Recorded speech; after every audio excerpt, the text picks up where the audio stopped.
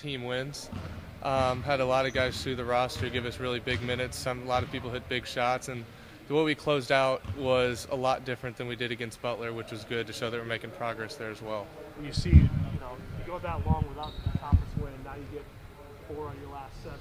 You guys know that you're you're right there, and you're seeing that progress as you get, you know, to the end here. How much anticipation builds up for you guys here toward the end, especially going into the tournament? Yeah, you know, we had a lot of tough losses early. Um, lost some games there on last second shots, and it was tough to kind of overcome. But I think what we've done is we've done a good job of keeping the vision of the bigger picture here in conference and knowing that if we can string some wins together here, we can get some good momentum going to the Big East tournament and try and try and I know close these games out better than we've done. Um, and I think that's what we're really starting to do. We're kind of learning kind of how what it takes to win there in the last five or six minutes, and we've done a lot better job with that.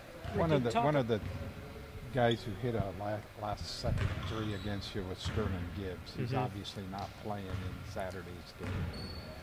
I guess how does that change the dynamics when he's not on the floor for that? You know, it can it can work as a disadvantage or advantages to teams depending on kind of what chemistry issues may have been occurring with him on the floor or if it's kind of something for other guys to kind of rally around is the fact that that guy's not there.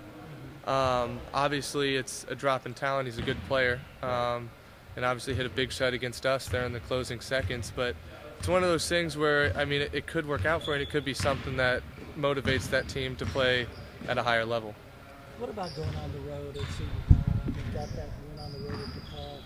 Has this team got some new confidence now? You know, I, I think we've done a lot better um, playing together as a team, kind of playing everybody on the roster is really starting to do a lot better job at kind of making the contributions they can make, and everyone's kind of recognizing their role on the team.